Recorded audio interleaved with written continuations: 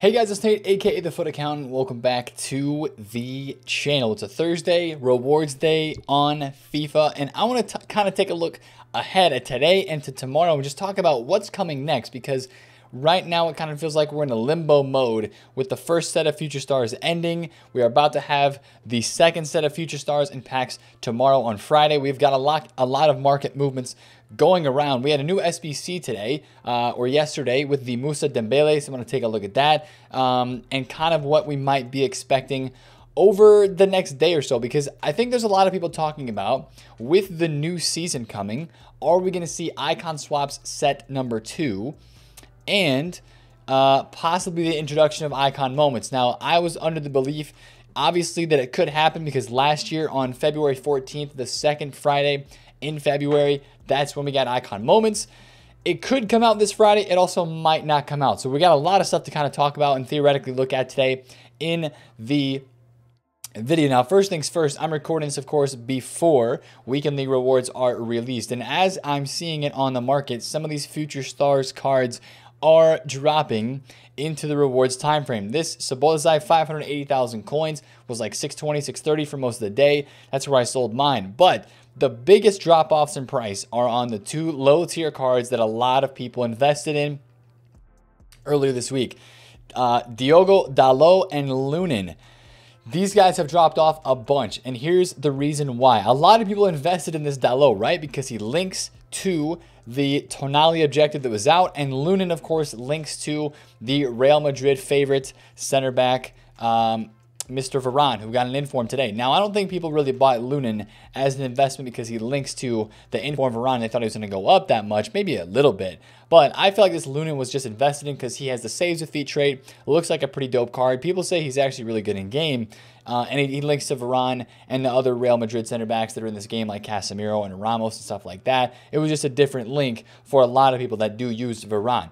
But what happened was over the course of this past week, we've had the double 85 packs come out twice now. They released another set of those uh, yesterday on Wednesday. And these cards have just been very, very packable. We've opened a lot on stream. Lunin and Diogo Dalot have been packed so often that I think the supply is outweighing the demand in this instance for these cards and it's making them actually drop. Now, of course, I do think today with Weekend League rewards, you will see these guys bounce back. You're going to see them take a hidden price because they're going to get supplied. These cards are pretty packable. In all honesty, a lot of people have packed Dalot. A lot of people have packed Lunin. And that does concern me a little bit for like how many people actually want to buy these cards if they've already packed them. I still think there's demand for both Dalot and Lunin, um, but I think they go. I think they're getting sold off right now before rewards because people are expecting their prices to drop further. Um, watch during rewards though; these guys could definitely bounce back because they are still desirable. They do fill a lot of needs in the game a Real Madrid goalkeeper and a Milan left back with the links to Tonali and a Serie A left back in general is this Diogo Dalot. So watch those guys specifically during rewards today and watch this guy. Watch this guy Des because he is down. He's 350, 360,000 coins at the moment. If you see a, a 10, 20, even like a 20k dip is kind of what I would look for on these cards during the rewards time frame. Think about it as like the current week team of the week right? You, you want to take a watch on some of those cards during rewards because they always get supplied, uh, which this week's Team of the Week is a lot better than what we were expecting. But um, we'll talk about that in a second.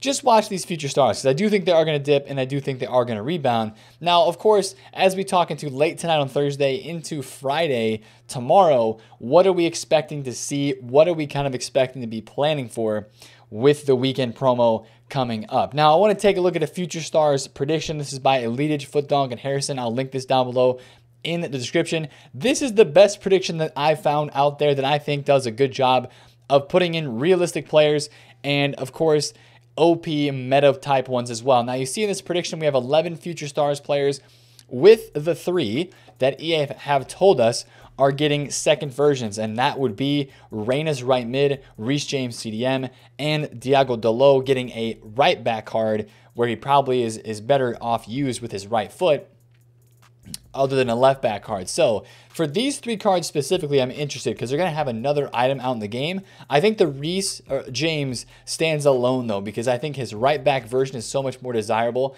Uh, the stats on it with the 11 pace upgrade than the James that is the 87 CDM. So I think that Reece James 87 CDM is probably going to be like 300K, honestly. Uh, and the, the, the right back James is going to stay more expensive. But I think the right mid Reyna could hurt center attacking mid Reyna price because there's two items with similar stats in the game, and possibly with Dalot as well. Um, just depending, I think I feel like that left side card's a bit more the the the need that position fulfills is just a higher um, degree of demand on this game. But if you take a look at this prediction here, Bellingham, of course, Cherki, of course, Jones, Fofana, Williams, David, Antony, Torres, a lot of big names. Saka, this card, if this guy is not in Future Stars set 2, a lot of people are going to be upset, right? English links and French links, especially. French links are coming into play big time once again in FIFA because of the Moussa Dembele SBC that came out yesterday and um, of the team of the week this week. There's multiple French cards in there. And this tweet by EA Sports right here. They tweeted yesterday, hey, Footstars is here. We're going to send out our talent scout one more time.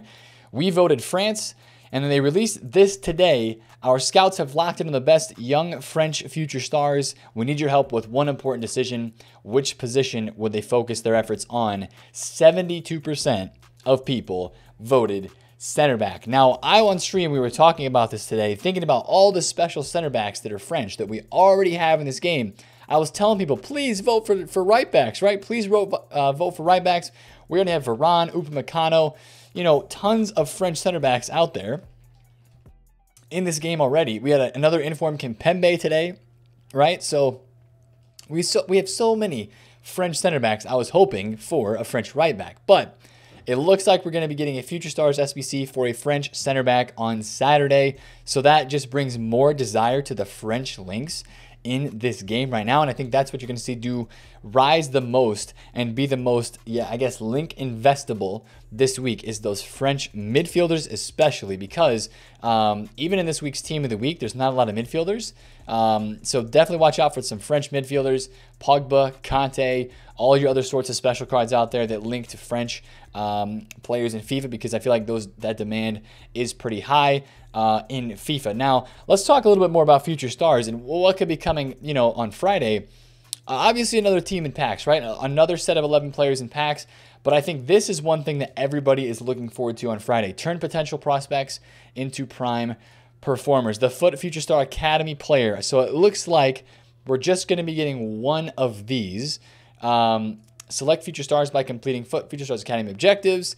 Uh, work through to earn four versions of their future star items. So that is one thing we are 100% expecting on Friday of this week is a new objective like this because we have not had one yet. It was not in the first team, and uh, we're expecting that 100%. Now, I don't think there's anything else that's that's interesting in here. Yeah, again, it only says starting the second week for the Future Stars Academy. So we're 100% expecting that. Now, the next thing I want to talk about is again icon moments and the new season, right? This new season, we have one day, 14 hours left, and a lot of this stuff is going to expire, right? A lot of it's going to go away. We're going to have a new season coming out. So, let's I want to take a look at last year because I think part of what we had last year and part of what has already happened this year might give us a clue on what's going to happen when this new season comes out. I'm honestly not convinced now looking at a couple of these things. I don't know if EA would want to drop icon swaps, a new promo team in packs with the future stars set to, um, prime icon moments in packs, player of the month Gundogan or Premier League player of the month coming on Friday tomorrow as well I feel like there's just way too much kind of going on here. So I feel like what honestly might happen is that icons might be pushed back a little bit, and that this week we might just get the new season with the new objectives um, and the new season progress players, but we might not actually get icon swaps yet, and they might save that for next week because last year during FUT Freeze, what they did was they released all 89 icons. Uh, along with like FUT Freeze, like a promo where they released all these little things, right? Icon moments, winter refresh team, uh, squad building challenge updates, league objective player updates, and then they had the top most 50 improved player upgrades, right? It was just a lot of these little, little content pieces. But with future stars, Um, and earlier, what they did this year with Freeze, they kind of did that too, right? The Freeze team, Freeze player SBCs, road to the final team three. Prime Icons coming out in two sets. Icon Swaps number one came out during Freeze. I honestly think that we might not get Icon Swaps or Prime Icon moments until um, next Friday when Future Stars is over. Whatever promo they run, or if it's just a quote unquote off week and they do um, Icon Moments cards and packs or if they do like winter refresh next Friday, I almost feel like that's where the icon moments will start to come into play because in here, this is the pitch notes from the start of the year in FIFA 20. It doesn't say that it's going to be in the middle of February. It says primes will be released during the month of December, and it's it's worded the same way for February of 2021 with the icon moments. So I honestly think we're going to get two weeks of one week being the first set of icon moments and then second week being the second set of those cards released into packs. And I'm not entirely sure if we will see icon moments this week on Friday. Now that I'm reading through this a little bit more, thinking about it a little bit more, I think I might have changed my opinion because it almost just seems like all of that would be way too much for a content drop on a Friday in FIFA. Now I know it's like, yo, it could happen because it seems like it could happen. But last year, this is where I was getting this from earlier. Last year, Prime Icon Moments of Ronaldinho during the first set was released on February 14th, which was this uh, the second Friday of the month. Right now, one other thing that we have to think about that is also this Friday is Lunar New Year. Lunar New Year is the 12th of February. Um, 212, right? And that is this Friday. So uh, obviously FUTWatch added something to the code. They said this this update that we just looked at right there is most likely just a kit or something along those lines. But Lunar New Year has been a promo in past ages of FIFA that has been like insane, insane for the game and for the market. They have done half priced packs before with coins during Team of the Year. Now, I don't think you have to be worried about that. I don't think you have to expect that. They didn't do it last year. I honestly don't think they'd do it again. But uh, that's something to always kind of look out for. It might just be like a kit SBC. It might just be an objective or so for that Lunar New Year promotion um, this year in FIFA. So just kind of keep an eye out for that as well. But that's another thing that will be coming uh, this Friday, tomorrow on FIFA. But um, yeah, it's just it just seems like there's a lot of unknowns. It almost just seems to me like they're gonna keep Future Stars in its promo by itself. We're gonna get the new objective. We're gonna get the new Future Star cards in packs, the new SBCs, stuff like that. I'm still expecting a big time flashback. Um, we did have a player moments SBC today, but I still think we could get a flashback FFS during this weekend for a Mendy, for a Militao, for a Sancho, even if they really wanted to. A lot of big name players Havertz, right? Kai Havertz doesn't have any special cards except for the ones to watch this year in FIFA. He could easily get a, a, a flashback Future Stars item, flashback to Future Stars with an SBC. So there's a lot of potential for more SBC content to come out this weekend and especially on Friday. And that's why I think they're just going to keep the Future Stars promo by itself. But I'm still glad that we talked about icon moments in yesterday's video because that is good information to get out and to talk about. I still could see it summit coming, but I feel like the, the percentage possibility of that is less than I was originally thinking before after going ahead and doing some more research. Now, again, just like the Future Stars cards, this new team of the week, if any of you guys are looking at Varane, Sterling, this Morales, there are eight left wing slash left mid players in this team of the week. If you look all the way through it, eight of them, which is nuts. That's a crazy, crazy high amount of left wings, left mids uh, in FIFA right now in this team of the week specifically. But watch out for these informed cards. This team of the week is like sneaky, right? Sterling, Depay, Varane, Morales is kind of good. Kimpembe. There's actually a decent amount of value in this week's team of the week, uh, like for team of the week packs and stuff. And there's some decent players. This Morales is no joke.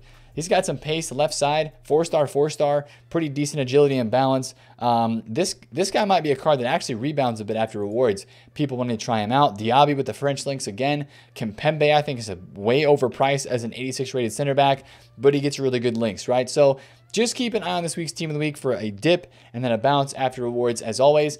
And I'll say this too, right? For the past couple weeks, SBC fodder, which is super, super inflated right now, has been an incredible, incredible buy during the first couple hours of rewards. You're going to see these guys drop two to 3,000 coins a card on some of the higher rated fodder. Great, great opportunity to buy in on that stuff because as we've seen before, what we usually do is on Fridays or Thursday nights on stream, we look at the index 86 and we see that yes, rewards drop this market, but then it rebounds. Of course, this guy this got pumped up today big time because of the 85 double upgrade SBC, but definitely keep a watch out for some SBC fodder. Uh, dropping during rewards today, that could be one kind of move that you do make on the market. But um, I have a couple contests for Thursday flips. Um, I got them in like the middle 150 range. We'll see if those do good this week. I feel like I don't think there's a possibility of overinvestment. Ooh, 153? Is that sitting on the market? Really? All right, I might just snag a couple more contests around 150 if possible. That's a, a, pretty good price. But just look around. Some of the informs and stuff have already risen up a decent amount. We were looking at left wing Antoine Griezmann on stream for about 200,000 coins earlier today, and the dude is like 220k now. So some of the stuff has started to go up already with investors and uh, with a natural rise uh, after a little bit of selling earlier today. So there are some deals out there you can still pick up for a Thursday flip, but they're fewer and far between just because of the amount of buying that has already happened and the amount of links. Like, I think I might buy myself a Fekir if I can get a 306. That's actually kind of low. Uh, maybe I'll try to snag that one on a bid right at 300K and save myself some coins. But I mean, I think there are some great Thursday flips out there. I think you will see the market do pretty well. I don't think people are going to save packs um, because why would you save packs with a lot of these future star items in the game? Today on Thursday, what could we see for content? I'm really not too sure. Of course, you got marquee matchups with a bit of, uh, of supply coming in on those. Watch your, um, if you want to do upgrade packs, they're going to get supply today on those types of cards. That might be an opportunity to buy in on some golds and commons rare and common golds to uh, do those. Um, I'm not really sure what to expect for content today. I don't think it'd be something too massive. Um, another player SBC would be a lot, honestly. We've had four player SBCs in the past five days, I think. So um, a lot of player SBCs recently. I don't know if they do another one. But speaking of player SBCs, this Moussa Dembele right here is coming in on Futbin at about 215K. He's probably going to drop to under 200K during rewards. Won't be that expensive, to complete, in all honesty. It's not a bad card, right? High high stamina, high strength, high um, you know shooting stats as well. He probably feels pretty good in game with the, he's got what are rich traits? Outside of foot shot, flair. He's got decent agility balance really good finishing, and he's got that four star, four star. So this is going to fill a hole in a lot of people's teams for a French striker. And as we always do, we do the hype test on Futbin. He's got 3,000 thumbs up, which is pretty good, right? Not crazy, but it's pretty good. People are willing to pay 200K for a card like this because they feel like it might be worth that much on the market. I honestly don't think it would be, but the Atletico Madrid links are huge this year, and EA is playing off that, right? With Joao Felix, with Carrasco, with Llorente. EA is really, really playing off that hype uh, the Suarez objective. So I think that a decent amount of people will do this SBC. That's why I'm looking at more French cards, and that's why I see kind of the meta shifting towards those French cards again as well. Those I think those cards are going to do really, really well this week. Um, after rewards and even into the weekend, right? Friday night, of course, as the promo is going on, we're going to keep a big time eye on those cards. Um, I'm really trying to snag myself a Griezmann here because I feel I feel like if I can get one under 200k, that is a cracking value for this car, which I don't think I'm going to be able to find. But um, that's going to be something as well. Again, just a quick reminder that the new upgraded headliner cards are not going to show up under the headliner quality. They're going to show up only if you search under special. Um, that is a glitch that EA has not fixed yet, and uh, that is a pain. But I just want to get on the market today talk about what could be coming. Again, share some more thoughts about what could be happening this weekend. Um, and of course, these future star cards are going to be very, very popular today. If you are looking to buy one for your team, I do think they will re rebound pretty nicely after rewards. Um, and then even into the night on Thursday night, unless we get some crazy content on Thursday today. Honestly, for these, a lot of them are probably going to take a dip and then just keep rising back up. So that's my thoughts on the market right now. Uh, a couple last minute buys if you want to, pre rewards if you're watching this before rewards. But if you're not, good luck with your weekend league rewards. I hope you get Red Varane, but I also hope you don't because if I match in FUT Champs, that will suck. so, anyways, if you enjoyed the video today, smack the thumbs up on it, comment down below if you have any questions, and subscribe if you're new. It's been Nathan FUT Accountant. Catch you guys later. Peace out.